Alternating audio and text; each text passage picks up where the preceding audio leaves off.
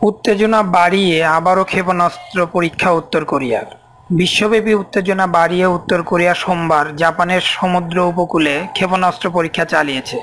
বিগত তিন সপ্তাহের তৃতীয়বারের মতো ক্ষেপণাস্ত্র পরীক্ষা চালালো দেশটি। ক্ষেপণাস্ত্রটি জাপানের সমুদ্রের অর্থনৈতিক অঞ্চলে পতিত হয়েছে বলে জানা গেছে। জাতিসংঘের কঠোর নিষেধাজ্ঞা এবং যুক্তরাষ্ট্রের সামরিক হস্তক্ষেপের হুমকি সত্ত্বেও চলতি বছরে বারোটি ক্ষেপণাস্ত্র পরীক্ষা চালিয়েছে পিয়াংয়াং।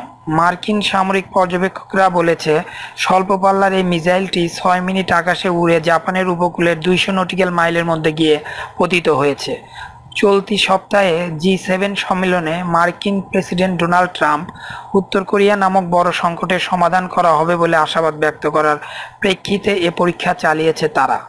জাপানের প্রধানমন্ত্রী শিনজো আবে ক্ষেপণাস্ত্র পরীক্ষার তীব্র নিন্দা জানিয়ে বলেছেন। যুক্তরাষ্ট্রের মিত্রের সঙ্গে যৌথভাবে ঘটনার বিরুদ্ধে পদক্ষেপ নেওয়া হবে বলে জানিয়েছে। অ্যাবে সংবাদ মাধ্যমে বলেছেন, আন্তর্জাতিক সম্প্রদায়ের ক্রমাগত সতর্কতা সত্ত্বেও উত্তর কোরিয়া বারবার এ ধরনের উস্কানিমূলক কার্যক্রম আমার, আমরা সহ্য করব না। জি সেভেন সম্মেলনে বিশ্বের শীর্ষ নেতারা উত্তর কোরিয়ার সংকট মোকাবেলাকে প্রাধান্য দিয়েছে। সেক্ষেত্রে আমরা যুক্তরাষ্ট্রের সাথে মিলে যথোপযুক্ত পদক্ষেপ গ্রহণ করব। এই পরীক্ষার মাধ্যমে বোঝা যাচ্ছে যুদ্ধের জন্য উত্তর কোরিয়া নিজেদেরও আরও সক্ষম করে তুলছে।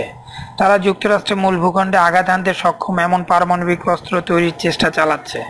মার্কিন প্যাসিফিক কমান্ড বলেছে স্বল্প পাল্লার স্কার্ট মিজাইলটি চারশো পঞ্চাশ কিলোমিটার আকাশপথ পাড়ি দিয়ে কোরীয় উপদ্বীপ এবং জাপানের মাঝখানে সমুদ্রে পতিত হয়েছে। আমার এই চ্যানেল হতে আপনারা যদি লেটেস্ট নিউজ পেতে চান, তাহলে অবশ্যই অবশ্যই সাবস্ক্রাইবের মাধ্যমে আমার সঙ্গে থাকুন। ধন্যবাদ সবাইকে। Oh